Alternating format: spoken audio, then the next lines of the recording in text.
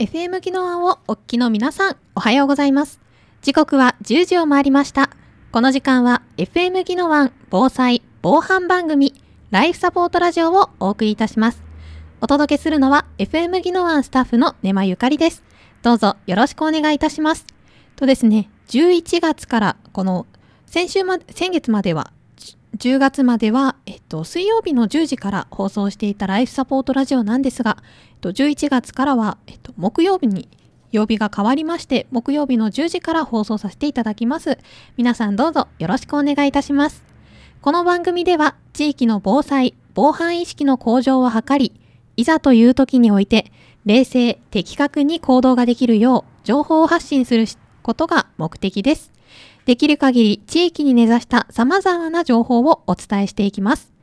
この番組では皆様からのご意見、ご感想を受け付けております。防災、防犯に関する豆知識、日頃から心がけていることなど、些細な情報でも構いません。メールアドレスは797アットマーク fm 技能案 .com 797アットマーク fm 技能案 .com まで皆様からのご意見、ご感想を受け付けております。また、FM 技能案では、ユーストリームとツイキャスで映像と音声を配信しています。FM 技能案のホームページから見ることができますので、そちらもお楽しみください。また、サイマル放送、リッスンラジオもスタートいたしました。パソコンでお聞きの方は、FM 技能案のホームページにて再生ボタンがありますので、そちらからお聞きください。スマホでお聞きの場合は、無料アプリ、リッスンラジオより、全国のラジオ局から FM 技能案を選曲し、お聞きください。完全全編同時放送でお楽し、お楽しみいただけますので、そちらもよろしくお願いいたします。それではこの後、宜野湾市内の防災情報をお伝えしていきたいと思います。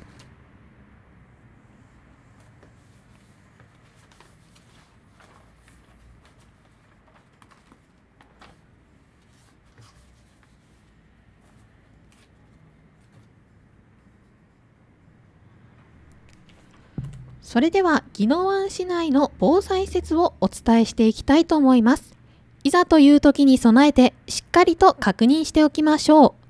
本日はですね、えっと、普天間地区の指定緊急避難場所、指定避難場所を紹介していきたいと思います。まずは、指定緊急避難場所です。普天間地区の指定緊急避難場所は普天間公園となっています。続いて、普天間地区の指定避難場所は普天間普天間1区公民館、普天間小学校、普天間2区公民館、普天間3区公民館となっています。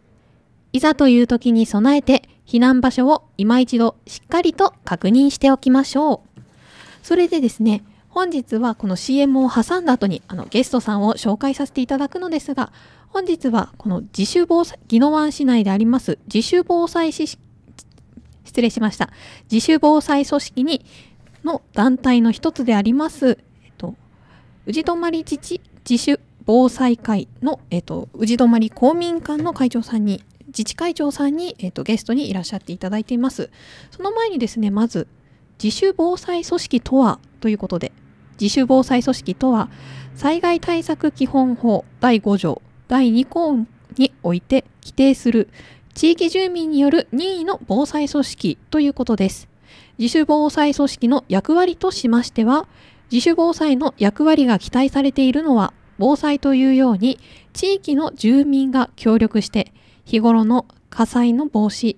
また消火訓練、通常の火災火災などにおいての通報、初期消火を務めることなどであります。東日本大震災クラスの大火災が発生すると、市内の至るところで火災が同時発生し、すべての災害現場に消防隊が駆けつけることは不可能な状態とな予想されます。その場合に、えー公的機関による控除は限界がありますので、その被害を最小限に抑えるために、発生の、えっと、初期段階での救助が必要となります。その場合やまた地震や津波など、そういう場合に、えー地域の住民一人一人が自分たちの地域は自分で守るというような取り組みが大変重要となってきます。そのための初期消火や災害の情報、伝達収集、避難誘導、被災者の救助、救護応急手当などそれを地域単位で、えー防災活動が求められています。これらの役割を担う組織が自主防災組織となっております。ですね。この後 CM を挟んだ後えー、宇治泊地区ではどのような自主防災を行っているのかをお聞きしていきたいと思います。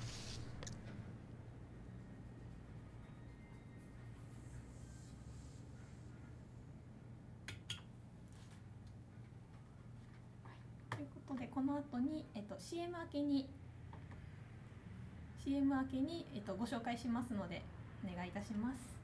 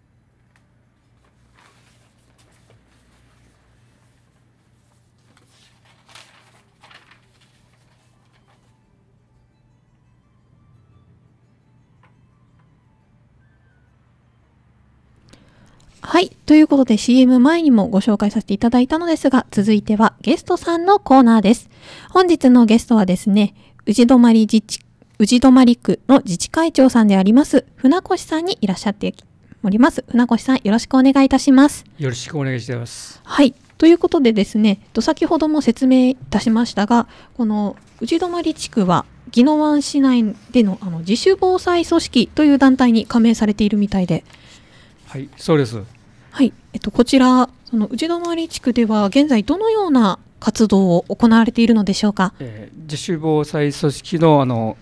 メンバーがですね、はい、まあ50名ぐらいいまして、まああのいろんなあの、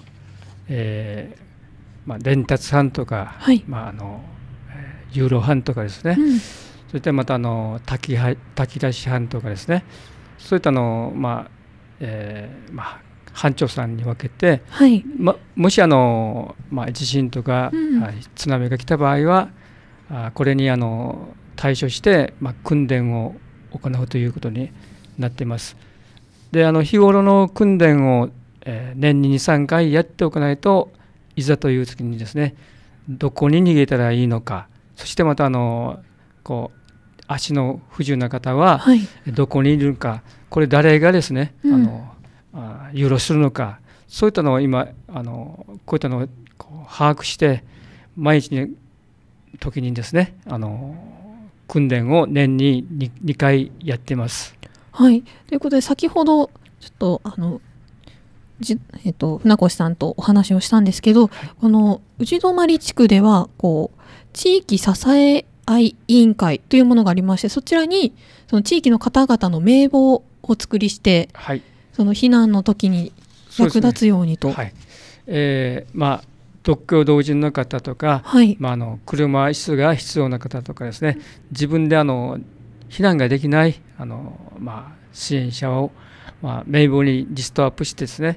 まあ、この、まあ、毎日こう災害が起きた場合は、まあ、ボランティアさんとかですね、うん、地域の隣近所の方にお願いしてですね、まあ、声をかけてあの避難をスムーズにやるようにですねあの声かけ運動の一環として、まあ、やってます。はい、ということで先ほどそちらの資料も見せていただいたんですけどやっぱりこの備考欄に、まあ、その人がどういう状態なのか例えば車椅子だったりとか足腰が悪いとかそういう記載もあるのでやっぱりそのボランティアさんもいざという時にそれを見たらすぐに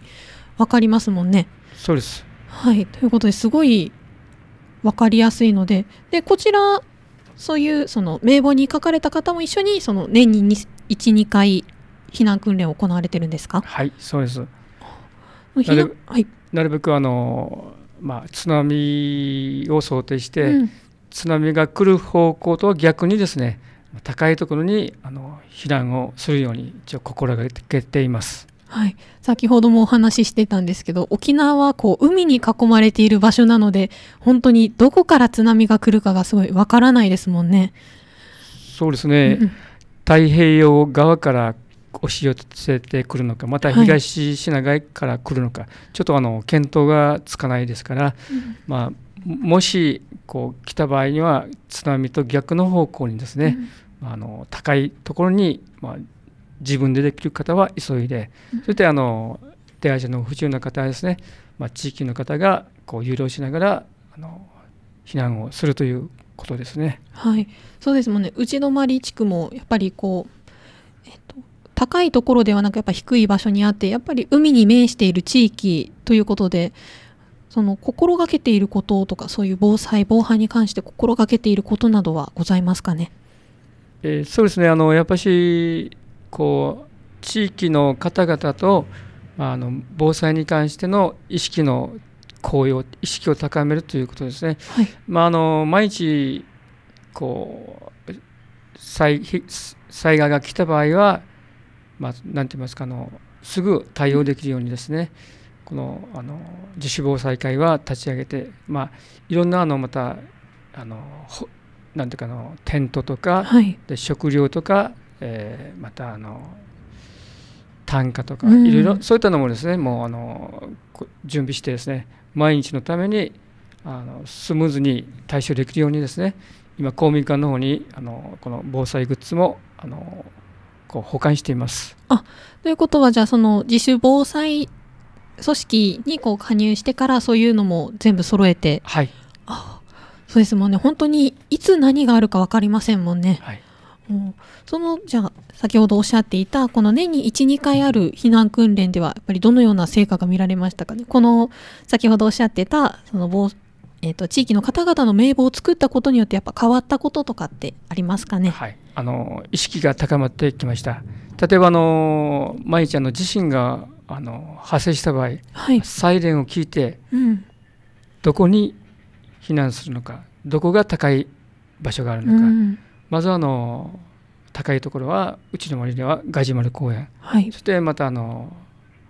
まあ、王者の方のですね、うん、まあ、ある地方書士事務所の前の駐車場とかですね、はい、そういったのにあ向かってなるべくあの20分以内にですね、うん、こう到あの避難できるように今あの訓練してます。やっぱりではこのそのリストを作ったことによって、はい、その担当の方は自分はここの方々の手助けに、ボランティアに行くっていうあれもあってその避難する時間っていうのはやっぱり短くなりましたかね？そうですね。あのやっぱしこう足の不自由の方はちょっとあの、うん、歩くのに大変あの支障をきたすもの,、はい、ものですから隣近所のですね、うん、あのこう若い方が、はい、まあ、肩を貸してあげたり、まあ、あのやってですねスムーズにあの避難訓練ができました。うん、すごいですね。やっぱりそのいろんな方がこのライフサポートラジオにゲストにいらっしゃってるんですけどその時にお話をお聞きするとやっぱりこの地域の方がそのどこにどんな方が住んでいるかが分かんないとかこの足の不自由な方はその隣の人がどういう方かもわからないから、このそういういざとなった時に手助けに行けないっていうのをおっしゃっていたんですけどこのような形で名簿にすることによってすごい地域のつながりにもなりますしね。そうですね。やっぱしあの今独居老人が少しずつ増えてですね、はい、あの家にこもりがちなあの老人の方とですね、うん、声をかけ合いながら、まあ、なるべくあの公民館の方にですね顔を出してもらって、まあ、地域の方またあのボランティアの方とかですねこう情報交換しながらあの楽しくやっていければこうやっぱしあの訓練になってもですね、うん、あの参加できる体制作りができます。そうですね、はい、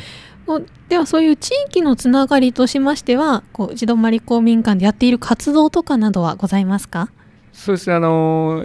地域支え合い委員会というのがあの、まあ、いろんなあのボランティアさん、はい、民生委員の方とかですね、まあ、社協の職員また包括センターの方ですね。そういったあの方が、まあ、どこにどこそこには、まあ、ちょっとあの、え要支援者がいるとかですねそういった情報交換しながらあのやっています。またあの公民館の方でいろいろあの、まあ、催し物があって、まあ、子育てサロンとかですね、うん、またあのあの月に1回の、えー、伊賀ヶ島文化財教室とかですねまあ、あのそういったのをこう上しながら地域の方々がよく公民館に集まってですねいろんな情報交換なんかもやってます。いいですねこの地域の方その集まる場所があるっていうことはやっぱり皆さんも行きやすいしまたそこで新しいこの友達が増えたりするのもすごい素敵ですもんね。そうですね、やっぱりあの公民館という、まあ、あの施設はですね、うん、一般また自治会員の方のですねまあ、よりどころまたあの交流の場としてですねこれからあのやっぱしあの宜野湾市でも、うん、もう絶対必要なあの公民館ですね。今あの地域の方が少しまあ何て言いますか、えー、意思疎通とか規約か、うん、つながりの規約かですね。それがあのまあ進んでいましてなるべくもう声かけ話し合いコミュニケーションそれを取りながらやっぱり地域を明るくしていくような、まあ、町づくりがとってもあの大事じゃないかなと思いますね。そうですよね、はい、この内泊公民館一度私も少しあの近くを通る用があった行ったんですけど、はい、すごい新しい公民館ですよね。はい、もうおかげさまであの去年の9月14日に完成しましてですね、まあ、区民の方地域の方の支援もありまして、うん、また地域の企業さんですね、はい。まあ、地地域の企業さんもあのこの避難訓練とか、草刈り作業とかそういったにはあの参加してですね地域を明るくきれいにしてもらってます、はい、すごいじゃあもう地域のつながりがしっかりとした地区になってるんですね宇治泊地区は。おかげさまで本当に 地域の方がですね。いやいやいや。大切ですねはい。ということでこの今後ですねこの宇治泊地区自主防災地区として今後やっていこうと思っている取り組みなどはございますか？そうですね。あの、今後やっぱしあのまあ避難、まあ、想定してですね、うん、まあ、あのこう怪我人がばたな出た場合のですね、はい、担架で運ぶとかまたテントの設置とかそれからあの、まあ、毛布ですね、うん、こういったあの備蓄の、まあ、すぐに使えるようにですね訓練を、まあ、宜野湾消防の職員の方とかですね消防団の方とかですね一緒になってまあ、地域の方も一緒に訓練をしたいと思ってます。やっぱりそうですもんね。いろんなみんなで一緒にやったらそのいざという時にそれぞれがちゃんとそのやり方を分かっている分、はい、その避難などもスムーズにいきますもんね。そうですね。今の保育園小学校とかあの中学高校でももう、えー、月に1回とか、うん、まあ、2か月に1回ですね。あの随時避難訓練やってますから、まあ、自治会でもあのどんどん訓練をやって災害に対してですね準備万端にしていきたいと思います。はい、ですもんね先ほどあの昨日講演その防災の講演会に行ってきたお話を、はい、名越さんがしてたんですけどやっぱりそこのその中でもそういう日頃のそうですね、はい、やっぱりあのある保育園まあある、まあ、市の保育園なんですけどね、はい、東北震災の保育園、うん、まあ、月に1回の避難訓練をやっていてまあ、あの次郎あ次郎がですねもうあの2 3 0 0名いるところで被害は3名にとどまったというあの犠牲災害ですね、はい、そういったあの講演会もありました。でその市の保育園は随時あのまあ何て言いますか訓練、はい、まあ、うんうん、先生方とかあのまた園児ですね一緒にもう高いところに逃げる訓練を随時月に1回やっていてまあ、大多数のあの人から、まあ、被害が、うん、まあ、12名しか出なかったというのがですね大変あのこの日頃の訓練で、まあ、最小限に被害があの抑えられるということがとても勉強になりましたね。昨日のあの講演会ですね。うん、やっぱりこう日頃からしっかりとやっていくことが大切ということで。はい、ということで船越さん最後にた市民の方だったり聞いているリスナーさんに何かこうありましたらそうですねあのやっぱし毎日の災害に関して自分の命は自分で守るようにですね随時あのこう訓練のえー、災害のですね意識を高めてもらいたいですね。はいということで今からねまたその講習などを受けてしっかりとその組織としてまたいろいろと行っていくみたいなのでまたその経過もぜひぜひ FM ギノアに来てそのラジオから皆さんに発信していただければと思います。はい、中志さん本日はどうもありがとうございました。はい、ありがとうございました。はい、本日のゲストは宇治泊地区自治会長の船越さんに来ていただきました。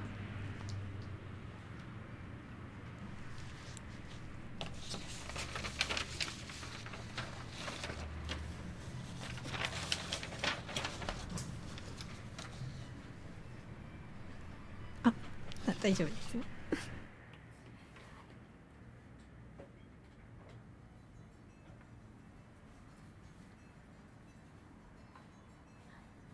ありがとうございました。